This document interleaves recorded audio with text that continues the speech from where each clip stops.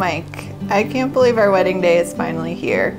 Our road trip to get here over the past week has been a bumpy one, both figuratively and literally.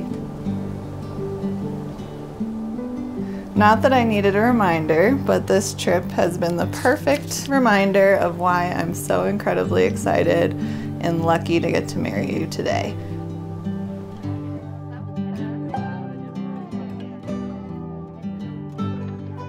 Ellen, I'm so happy that after today I will be able to call you my wife. I'm incredibly lucky that I have you to love and encourage me. I can't explain how proud your family is of you for following your ambitions and achieving your lifelong dream of becoming a veterinarian. You are the amazing and hardworking person that the dogs think you are.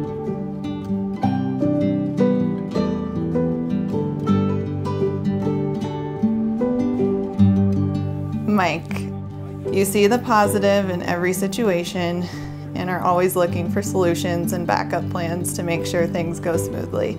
You're a natural problem solver. I am marrying an engineer after all. Becoming husband and wife will be the next step of hardening our relationship to become the strongest couple I know. From high school to our college years, to first jobs, to vet school, to cross country moves, we've made it through a lot so far. There's nobody else I'd rather go through life with than you. Oh, you're beautiful. I am never more warm, comfortable, and unguarded than when I'm in your arms. You make my life better and make me want to be the best version of myself.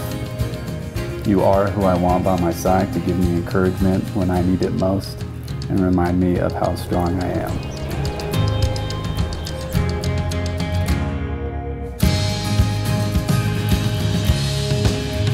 I promise to always be there to support you, to encourage you, to laugh with you, and to adventure with you. And to only ask you to scratch my back on days that end in Y. I vow to never stop being a beacon of positivity and silliness in your life when you need it most. I vow to keep learning about you and adapting to be the best couple we can be. I vow to hold you as my one true love unconditionally, just like Rosie and Remy do.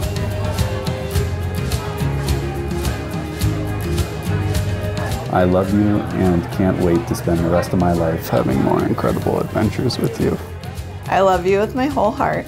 I loved you back when we were kids. I love you now, and I'll love you forever. I'm so proud to call you my husband.